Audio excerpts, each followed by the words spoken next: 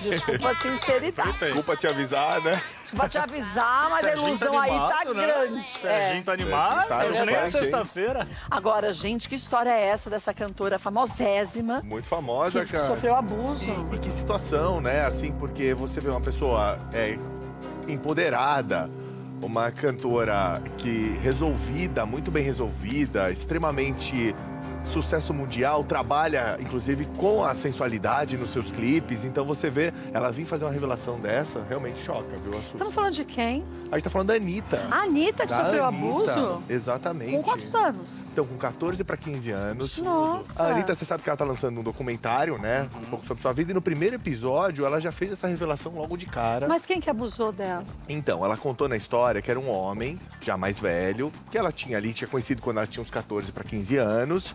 É, ela disse que tinha muito medo dessa pessoa. Ela Nossa. tinha medo. Mas era da família? Porque era autoritário. Não, não. Ela falou que era um cara que ela conheceu e Ah, que era tá. autoritário, muito autoritário com ela. Falava de forma autoritária, inclusive. Mas ele era parente? Não, não era parente dela.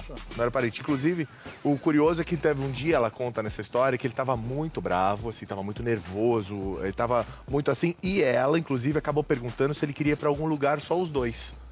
Então ela ali com 14, 15 anos, ela falou isso. Na hora, ele parou o estresse, segundo o relato dela, perguntou se ela tinha certeza. Ela disse que sim, mas hoje ela tem essa certeza plena que na verdade ela falou sim porque ela estava morrendo de medo do estresse dele. Então ela tava, ela se colocou numa Nossa. situação ali que ela Pra falou se assim, meu Deus, proteger, para se né? proteger, exatamente. Que coisa horrorosa, hein? E aí ela faz um Ele relato. abusou dela sexualmente? Ela faz esse relato que ela diz o Gente. seguinte, ó, abre aspas, só pra você saber. Quando eu cheguei lá, eu realizei que não era certo eu fazer aquilo por medo nem nada, ou seja, porque ela tava com receio. É, eu falei que não queria mais, mas ele não ouviu, não falou nada, só seguiu fazendo o que queria fazer. Quando ele acabou, ele saiu, foi abrir uma cerveja e eu fiquei ali olhando pra cama.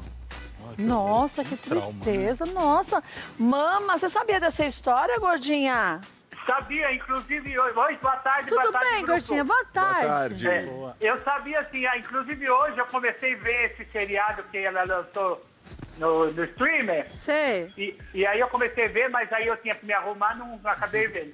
Mas ela já tinha mais ou menos contado, só que esse detalhe ela não tinha contado no livro É. que o, que o Léo Dias escreveu. Não tinha. Então aí era um- era- é- é- sempre foi um mistério esse trauma que ela teve com 14 para 15 anos. Mas é horrível, né? Porque ela disse não e o cara não quis nem saber. É, então, mama, mas infelizmente, muitas meninas passam por isso, né?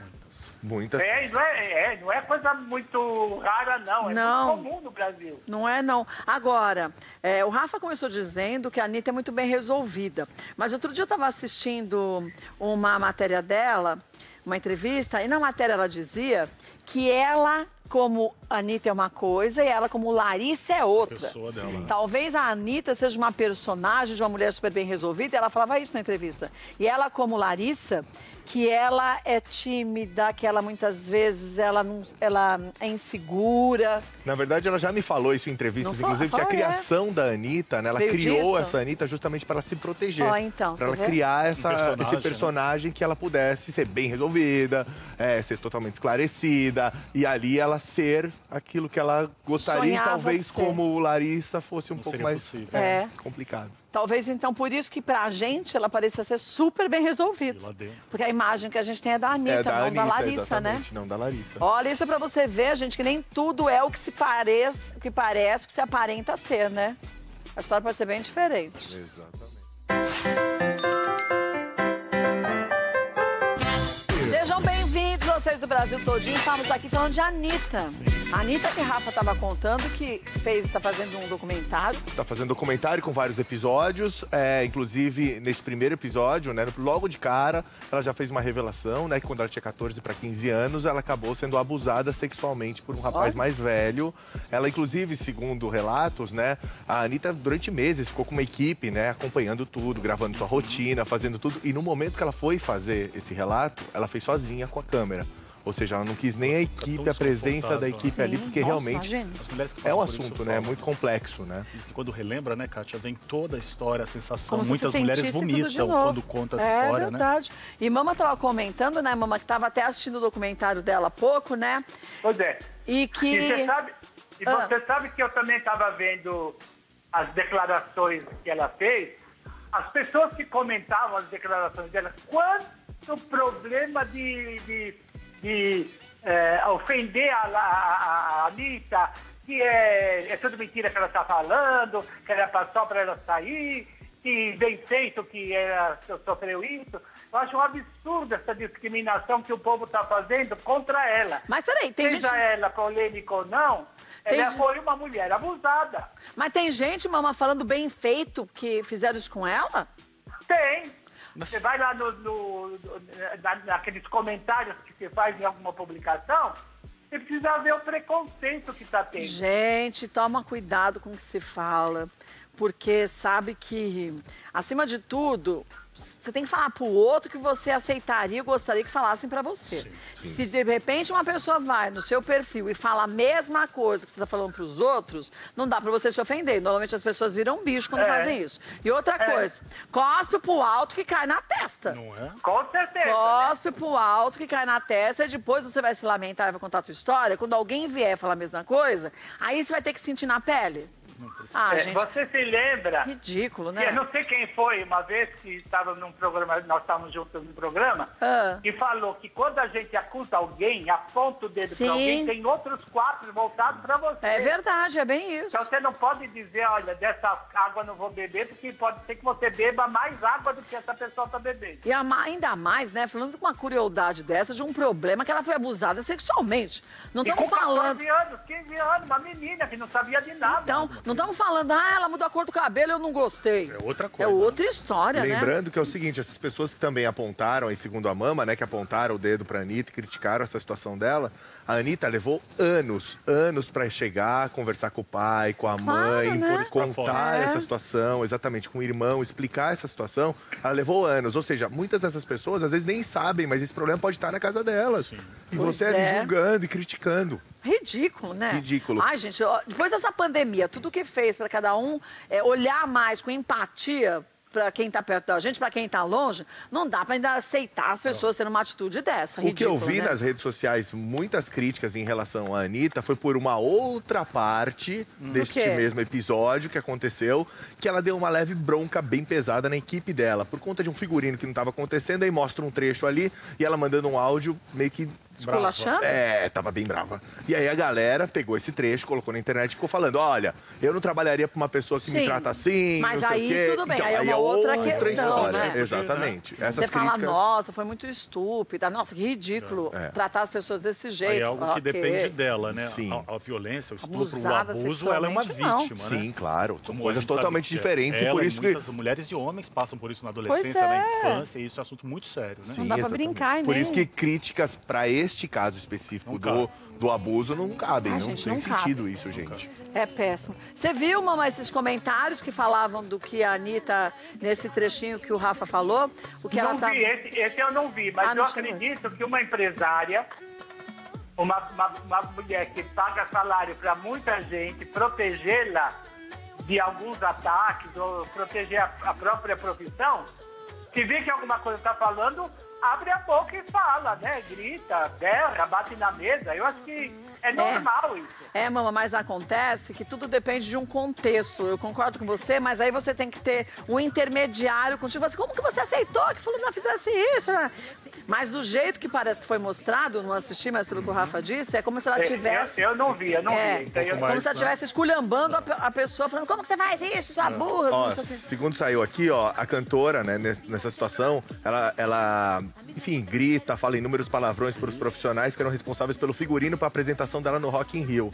Na época, a gente sabe, é um evento gigantesco, a Anitta fez sua primeira participação no Rock in Rio, é muito difícil entrar neste circuito também. Ela provavelmente estava também muito Vai estressada nesse dia. gritar, Óbvio, acho que Mas- passou, é. talvez tenha passado do limite realmente, mas aí o que acontece? Mas assim, as pessoas realmente criticaram, assim, porque no áudio enviado pelo celular, ela realmente. Eu não consigo nem um ler aqui porque Ah, é? precisaria colocar muitos pis, entendeu? palavrão. É, tem muito palavrão. Mas aí, áudio. por isso que a gente precisa de um intermediário. Pra, fazer, pra se acalmar, né? Então você faz, sei lá, se tem alguém, por exemplo, uma Carla trabalha com a gente, fala, Lalinha, pelo amor de Deus, fala com fulano. É. Pouca vergonha, o cara não sei o quê, o cara é isso, cara... a Lu Barbosa. Pra dar uma que é a- filtrada, né? Que é a nossa assessora de imprensa. Você fala, ah, Lu, pelo amor de Deus, esse cara falando isso, não sei o que. Aí ela vai e fala, então, a Kátia ficou Dá aquela, né? chateada, É. que não foi a forma correta. Não, tem um outro vídeo da Anitta que é, que é também icônico nas redes sociais e é diferente. Ela dá uma, uma chamada na equipe, ela tá em Nova York, aí pai um vídeo, ela fala, ah, a gente veio pra Nova York pra trabalhar, então vocês têm que separar o figurino, vocês têm que Ah, fazer mas- isso, não é pra ficar viajando. E aí, ok. Mas não é o quê, é como. É como falou ali, ela chamou atenção. E agora se realmente E ela Anitta, xingou ou tam- não, não pode. e a Anitta também tem uma coisa que ela puxa tudo muito pra ela, Ela né? é ela É. quer saber de tudo, ela quer estar em todas as partes do processo, entendeu? Aí você vai se estressar. Tem Exatamente. segura, né? Não. Tem uma hora que você acaba se estressando, entendeu? Com pequenas coisas. Por exemplo, isso, um figurino que não tá pronto, um figurino que tá com algum detalhe. Isso não deveria ser preocupação dela, entendeu? Mas É. acaba ficando. Mas também posso te dizer uma coisa. Às vezes, é, infelizmente, isso ainda acontece. O mundo é muito machista. É, sim. A mulher que, que tem essa força, tem essa liderança e conquista muita coisa, também muita gente não respeita. Não, às vezes ela é obrigada a se Você precisa mais. de um homem É. pra falar com as pessoas. Se for uma mulher, as pessoas não respeitam. Pra ser ouvida. Então, às vezes, você infelizmente aprende a ser estúpida. Porque você sendo estúpida, a pessoa ainda escuta. E ela fala isso medo. num, num trecho do áudio, ela É, inclusive então. diz isso. É Ela fala assim: vocês ficam é falando que eu reclamo, que eu sou grossa, que não sei o quê, então agora você. Pá! Entendeu? Então, mas é por começa. isso. Então existe um machismo nisso muito grande. Por isso que muitas vezes você tem algum. Em alguns casos, tem o artista e tem um assessor, empresário alguma ali, coisa, né? um homem no meio, que vai, na hora de pegar pesado, ele que fala. Porque Ele senão não resolve. respeita a mulher. E aí a gente tem que ser muito estúpida pra pessoa falar: escuta aqui, meu filho, quem tá te pagando sou eu. Dá pra você fazer o que eu tô mandando? É. E aí fala, nossa, que animal, né? Grossa. Aí muda tudo. Aí vira Às chato. vezes- É, não, mas aí vira, né? Nossa! Ó, a Kátia, assim, ou ó, a Anitta, ou uma a não sei coisa. quem. A gente tá, tá fazendo obra em casa. Vira e mexe, tem que baixar, o meu santo tem que rodar, porque senão não rola não. Então. Você fala, escuta aqui, ó, história de as pessoas estarem com máscara. Nossa, eu já cansei. Você tem que chegar assim, gente, por favor, usa máscara. Não dá pra ficar aqui em casa. Teve um dia que eu tive que- pegar uma pessoa que estava trabalhando em casa e falei escuta aqui, usar máscara nessa casa não é opção. É obrigação. Se você quer continuar trabalhando aqui, você vai usar máscara. Tá certo? Cara, É e aí eu vou te falar, ela pode falar, a pessoa pode falar assim, ai, a Kátia foi muito estúpida. Toda hora passava, ah, por favor, não esquece a máscara. Aí passa um pouquinho, ai, gente, por favor, a máscara. Mesma Vou falar pra vocês, os casos estão aumentando. Não é porque eu acho que vocês vão pra- passar pra, pra se gente. A gente tem casos onde a gente trabalha, então eu posso estar passando pra vocês. A Yolanda que trabalha com a gente, gente, essa é um pulso firme junto com a Carla que fica atrás das pessoas. E aí, você não viu a dona Kátia falar? Vou ter que brigar com tu? Porque as pessoas não obedecem. E aí, quando você vira as costas, elas tiram a máscara. Então, eu tô dizendo isso um exemplo. Imagine ela que vai lidar com muito, se ela quer controlar ela, tudo. Todos Tem nós. hora, gente, que infelizmente o machismo existe. Enquanto, e se for mulher mandando e homem trabalhando, você, infelizmente, vai ter que ser estúpido em algum momento, porque senão as pessoas misturam as coisas. Não é todo mundo. A gente tem que dosar quem sabe, Aonde quem vai, né? respeita, É. não dá pra gente generalizar nada. Mas depende do que você vai fazer, você vai ter que falar, ai, desculpa, mas faz o que eu tô mandando. E ponto, né?